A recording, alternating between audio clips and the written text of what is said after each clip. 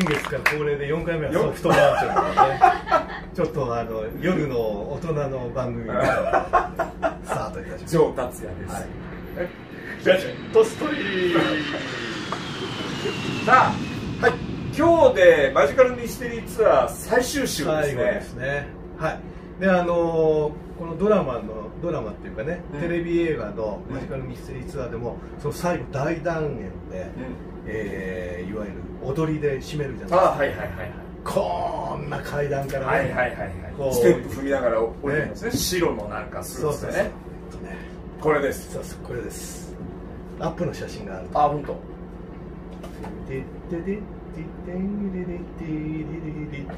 何歌ってんだよお前って感じですけどねあれここれこれじゃないのこれなんだけどああったあったあったあったこれこれたああこれこれこれこれあれですよポールだけが黒いバうん。ね。これであの後のあの死亡説の時にですね、ラはいはい。まだなんかこれがね有力な証拠だとかってなんやかんや言われるんですよね。うるさいっつうこのあの4人のちょっと生かさないステップを踏みながらの階段を降りてくる姿がうん。微笑ましくも。そう。すごくねやっぱり危機としてやってるんですよね、はであのジョン・レノンがすごい楽しそうなの。ぎこちないんだけど。そうそう。ぎこちないんだけどみんななんか楽しそう楽しそうなんだようんね、楽しそう。ジョージ・ハリスンでさえなんかこの辺口元がこう口角が上がってるような印象を受けるんですよ。もう笑っちゃいけない男ジョージ・ハリスンが笑ってるんじゃないかな。笑っちゃいけない。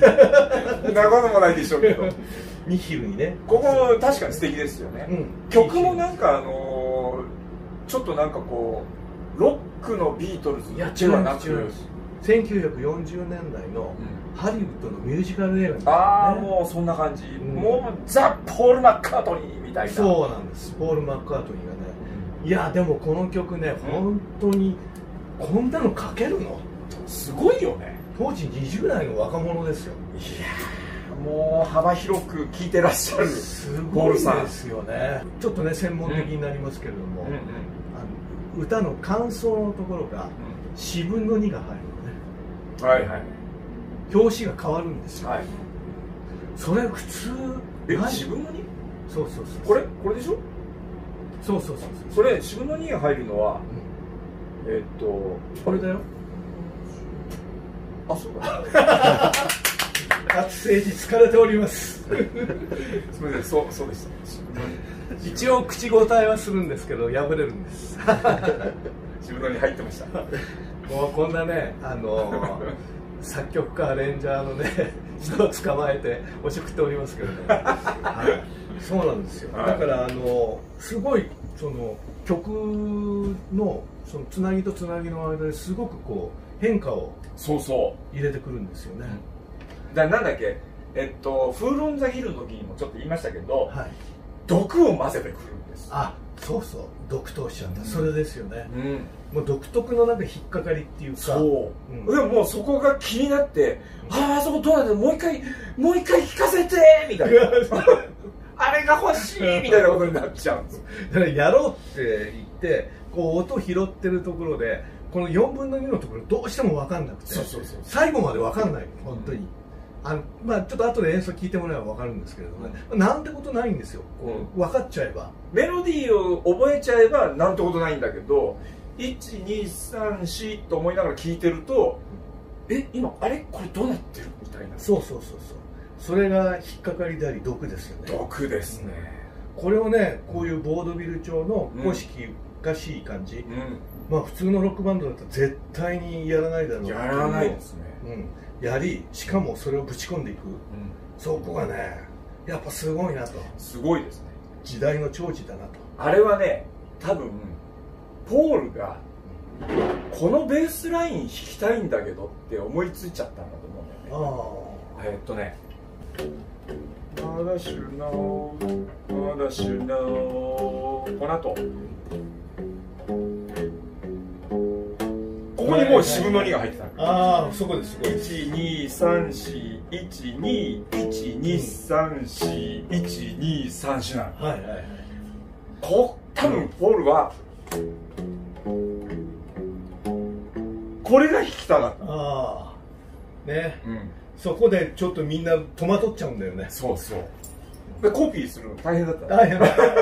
成谷さんここ四分の2入ってるよ。そうそうえリー！ハリハの時ね勝さんこここれでいいのかなって言ったところがまさに4分の2のそうそうそうそうそう。うん。取れねえ取れねえ音が、いやーもうびっくりしました。ねうん、絵の方に映るんですけど、やっぱりその1時間の番組を締めるっていうその大断言っていうのにふさわしいこのステージじゃないですか、これっていうのはあの、えーやっぱり最初のあのバスツアーでは全然絵が撮れなくて で困りに困ってあの、えー空軍の飛行場の跡地を使って、あの再撮っていうか、追撮をしたんですよ。でその時がすごくやっぱ取れ高が良くってっていうか名作が残って「うん。アイアム・ザ・ボーナス」のあのビデオクリップあもーこういうやつね。はいはいはい。はい。であの壁でそう警官こうやってるじゃないですか、うんうん。あれはなんかあの飛行機の爆弾の爆風をその抑えるための壁なんですって、へでそれがまあもうなんていうの？閉じられてるわけだから、うん。ああいうちょっと荒れ地みたいな、ん。あの平原みたいな状況になってるんだけどもだからあそこでそのウォーラスのビデオクリップを撮ったのと、あとはあの飛行機の格納庫でこれ撮ってるんですよ。うーんそうなんですね。じゃないとこのあのにょろっとした階段があの高いところから降りてくるじゃないですか、はいはいあれを設営できる場所がなかったんですよ。えでも映画撮影用のスタジオとかあるんじゃないですか？ああはいはい。あのレッド・イット・ビーを撮ったところだとかね、あるんだけど。うあのちょうどまあそれにふさわしいっていうかそれと同じようなのがその空軍基地の中にあったということで。だからポイントとなる映像は、まあフール・オン・ザ・ヒルだけはフランスですから、うん。あれですけどあの結局ねここで撮ったのが3回目に撮ったうん。のが一番メインに、うんなるほどなるほど。なるほど。うん。なので、うん。えーすごくなんていうのかな。アート的に締まるはいはいはい。ということになるんですけれども、おしゃれにね。うん。おしゃれにしかも賑やかに。そう。300人ぐらいダンサー呼ぶんですよ、うん。また適当だからまたのりおくん直してくれると。えー、人数ですか？みたいな。数字にそこは分かんないじゃ多くのダンサーがこう出演するんですけれどもああのちなみにあののりおくんって僕らが番組の中で言ってるのはあ一応ののマスター編集をやってくれているのがのりおくん。はい。この番組があの番組として成立してるのは彼のおかげです。あれただもう無責任にガーって喋ってるだけですから。はい。でね、うん。あのーブルーレイのはい。オーディオコメンタリーがポールが入れてるんですよ、うん。でそれがまあいろいろ裏情報がパパパッと入ってて、うん面白いんですけどもやっぱりこのシーンのこととかこういろいろ黒いバラのことだとかね、俺あの俺が最後につけたらなかったんだよって それだけなんだけれども黒いのしかなかったんだよって言ったりだとか。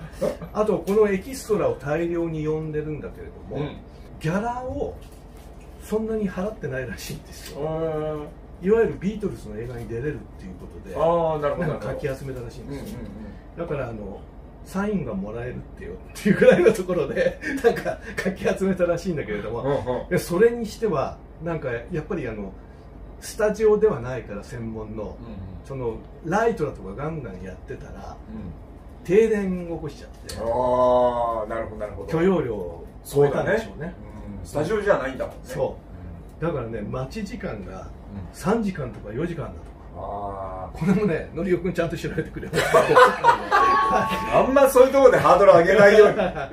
とにかくもう大停電になってブーイングが起きるような状況だったらしいんだけど、うん。ギャラもそんなに多くなかったし、僕は映画出たことないからちょっとわかんないですけどああるわ。映画なんだ？よ、うん。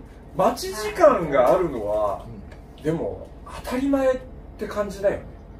ああやっぱなんかさすが、うんアクターの言うことは違いますね。ミュージカルにも出たこと。ねえなえー、ミュージカル？何それ？すごいね。ちゃんとあのちゃんと？着物着てうん。刀刺して嘘。ここでエレキギター持ってリッケンバッカー持って。ローリ戦に行かねばならぬのだとか言ってる。ー声通るわ。ミュージカルスターだ。うっかりやったことがありました。人に歴史ありいや本当に、ん。いやなんかいきなりあのビートルズじゃなくてカスさんを掘り下げたくなって。掘り下げないということでねビートルを掘り下げましょう。Your Mother Should Know いい曲ですね。いい曲ですね。これちょっと不思議なのはうん。イントロあたりのベース。はい。あ あ不思議不思議。あれなんであんなことになってんの、なんかね、洋服にそれが引っかかりましたみたいな。そうそう。もうみたいな、ね、そうあのね one, two, three, four、もう一回やるね。 one, two, three, four、二、三、四、で、ある。これ何？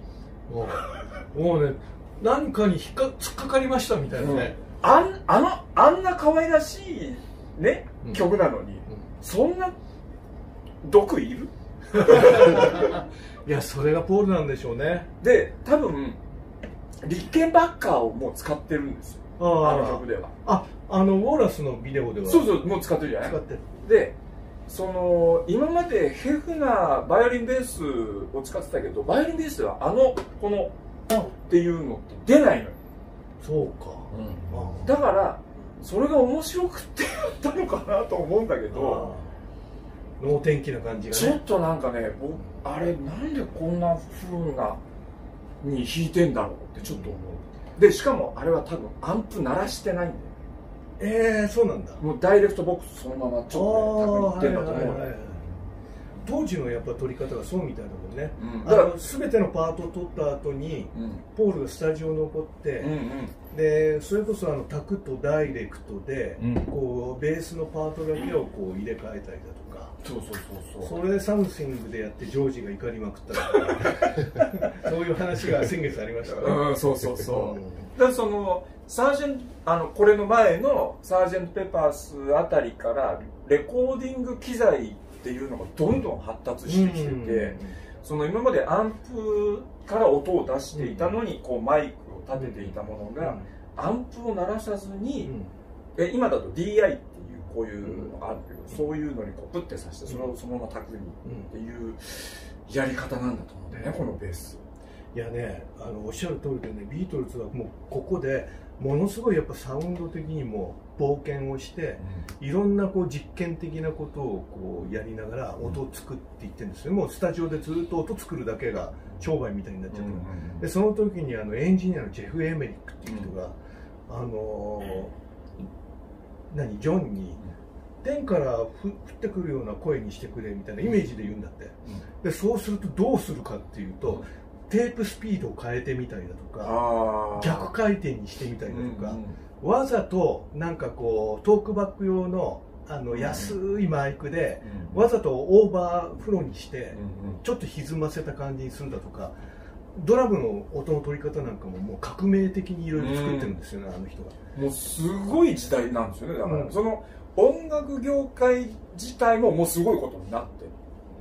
あらゆることをまああのいわゆるそのあ普通の単なるレコードだったのが作品と呼ばれその単なるミュージシャンだとかアイドルだって言われてたのがアーティストと呼ばれる。呼ばれるやっぱりねそれはそういったその作る現場からしてうん。もう変わってきてるんですよ、うんそう思いますね、うん。あのークリエイティブな世界に入ってるから。サージェント・ペーパースからマジカル・ミステリーツアーっていう流れをこうずっと言ってましたけど特にねリンゴのドラム、うん。マジカル・ミステリーツアーのこのアルバムに入っているリンゴのドラムのフィルインっていうのがあるんですけどフィルインっていうのはあの僕らおかずって言いますけどドンタンドンタンドンタンタカドンタカドンみたいなこのタカドンタカドンのことをおかずって言うんですけどリンゴのこのおかずの跳ねっぷりがうん。あれちょっと俺真似できないんだよね。まあ独特のものはありますよ独ね特。ね、うん。なんでここの白のところからそんなおかずが急に始まっちゃうのみたいなのがこのアルバムの中で随所で聴けるんだよ、うん。やっぱりね当初から、あのーグルーヴ感がある、うん。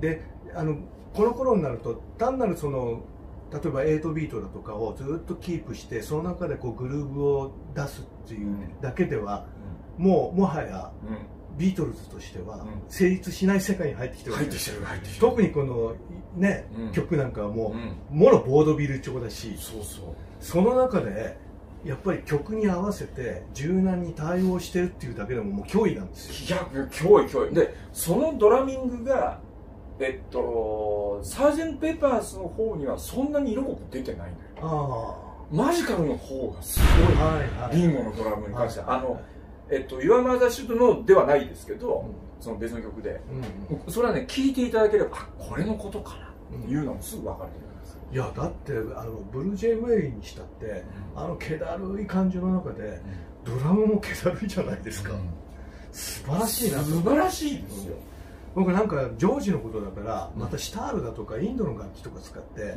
なんかこうダーみたいなこうドヨンドヨンした感じをやってるのかなと思ったらみんな普通の楽器でやってるんですよねあれ。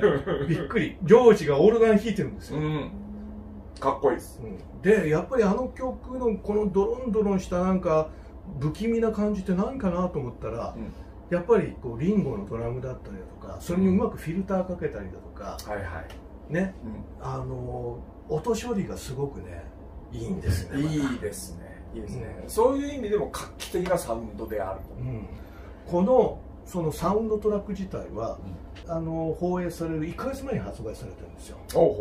でやっぱり中の曲っていうのは素晴らしいから、はいはい、腕に期待するわね。そうそう腕に腕まそれにこ内容がわけはわからないだとかね、うん、どこ行くかわからないとか言ってて、これねもう全部最初から、ね、ストーリー出てるんですよここにこう。漫画で。どこ行って何するっていうのが全部出てるんですよ、うん、要はね白黒だったのと、おじいちゃんおばあちゃんとかあの頭の固いイギリス人がいっぱい見てたからねわけわからなかったんですよ。まあ一応大雑把な流れはあった。この有名なねジョンがスコップでスパゲッティを。はいはい。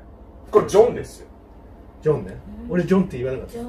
ジョンジョン。ジョンって言ったんだ。いやこれ見見たらちょっとあんまジョンっぽくないから。これねジョンのお父さんがこんな感じだった。のああ本当。船乗りでやっぱりこうウエーターみたいなこともしてて。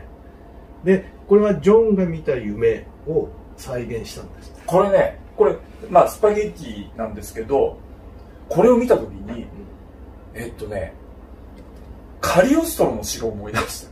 おおあのルパンがミートボールパスタを食べる 次元と一緒に。言ってた言ってた。あれをすごい思い出してジブリやったか。映像確かにしっちゃかめっちゃかですけど今見るとかなりやっぱ、面白いですね。いやいやあのルーカスとかねジョージ・ルーカスとかだったかな、違ったかな。あジョージ・ルーカスじゃないや。スピルバーグがもう昔から映画学校でこれをテーマにして、つまりあの低予算でこういうストーリーも決めずに、とにかく行き当たりばったりで でもこれだけシュールな作品が撮れるんだって言って講義の課題にしてたんですよねだからねイギリスの田舎のおじいちゃんおばあちゃんには全くわけがわからない世界なんだけれども、ちゃんと映画をこう語る見る人が見たらそれなりに評価できる作品で。あり僕はねこれをポールが監督して撮ったっていうのは音楽を撮るのと同じだと思う同じ手法で撮ったと思う映像なるほど、うん、そのあの最初に話した1967年のポールの全能感、うん、何でもできる俺。そう。ひょっとしたら。パスポートなくても大丈夫な俺。誰だかわかるよね。イエスタデーをもう YouTube に入れられようがこう歌う人ですから、その人がね、やっぱりその自分は何でもできると。映画撮ったことないけど俺は撮れると。ああ、うん、で全くその頃の映画の撮り方の常識じゃないわけですよ。いやもう完全にそうです、もうそれこそユニオンとかがあって、うん、もう縛りがあってなんかこう型通りのものしか撮れなかった中にこれは風の開けたと思うんですよね、ある分野の人たちにはかなり強烈にこう突き刺さったんじゃないですかね、うん、時代がねやっぱりこうサイケデリックっていうのの全盛時、工業的に失敗だったかもしれないけどでもその刺さり具合はきっとすごい深かったんでしょうね、うん、そうですね、でもね視聴率75%取ったものが果たして失敗作なんでしょうかっていうのね。ねえ本当だよね。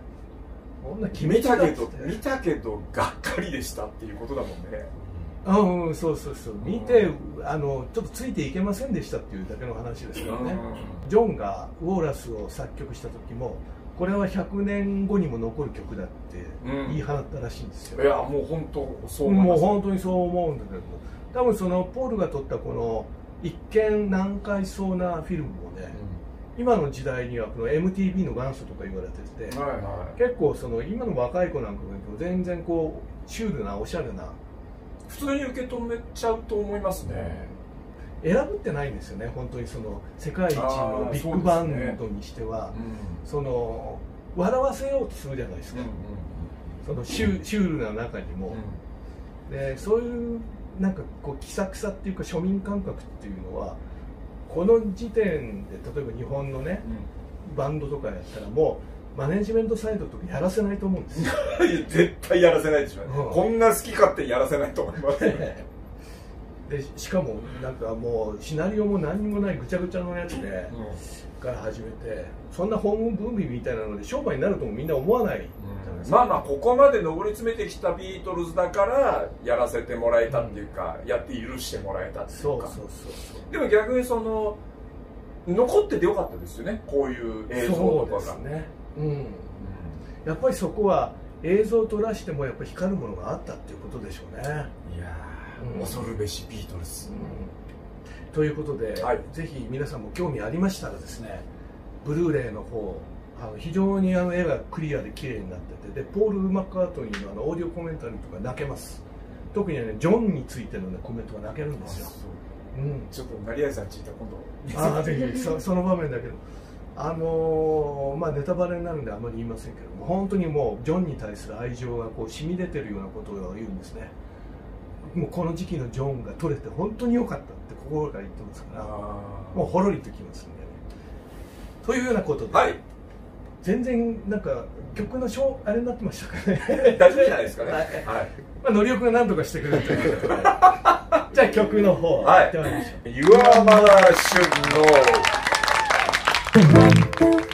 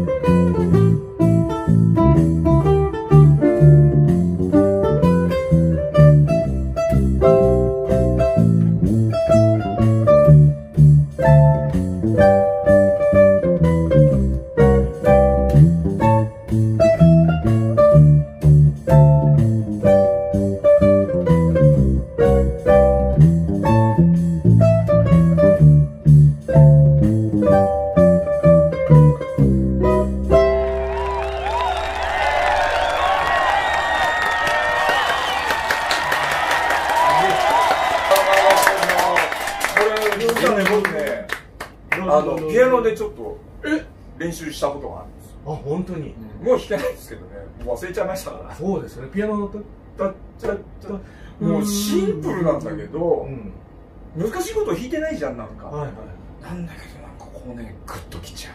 グッときちゃうんですよね。あの哀愁に満ちたね。満ちたね、うん。いいですね。真似したくなる。はい。これもなかなかねちょっとあの音程を取りにくかった。難しいところありましたね、大丈夫大まあ、普通のロックンロールじゃないなっていやーまあまあそうですね。うん。普通じゃないですね。はい、あの本当にその「I'm64」とかね。あれ10代の時作った曲ですからね。恐ろしいですね。本当ですよ。このえ得意なんだよねああいう曲がなきっと。なんかね作った時はやっぱりあのロンドンにリバプールから親戚がいっぱい集まってきてでそういう環境の中でやっぱりこういう昔っぽい曲が出来上がるんですよね彼女でこのあのドラマっていうか映画の中でも一番こうみんながノリノリでやってるなっていうのは、まあ、ラストのシーンの踊りもそうなんですけども、実はあのバスの中でアコーディオンでみんなで合唱するシーンがあありますね。あれがね、もう旗で見ててもすごく楽しそう。もうこれなんか映画撮ってるっていう感じじゃなくてあ本当になんかあ旅行に行けちゃったみたいなね。友達親戚おじさんおばさん乗って、はい。みんなで「ヤッホッホッホッホッホ」って歌ってるんですよ、あれがね結構やっぱり一番印象的で、マジカルミステリーツアーってやっぱり彼らの記憶の中でも子供の頃にねそういうのがあったっていうのがあるのがお題になってるから、うん。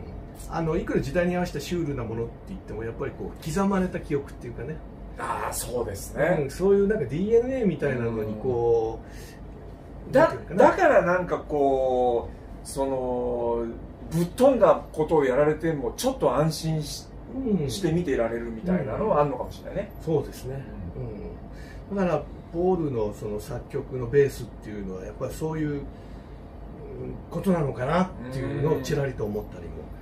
しますね。驚異的ですよ、うん。何も無からはやっぱあれは出てこないと思う、いや出てこないですようん、やっぱそういう人間関係家庭環境幸せなね中でこう曲作りも行われてたのかなという感じでございます、はい。ということで、えー、いかがですか？マジカルミステリーツアはい。特集でやってまいりましたいかがでしょうーいやー8回目まで来ましたね。いやー本当にこれ。9回目あるんですかね。というかこの8回目も放送されるんでしょうか？よくわかりませんが。はい。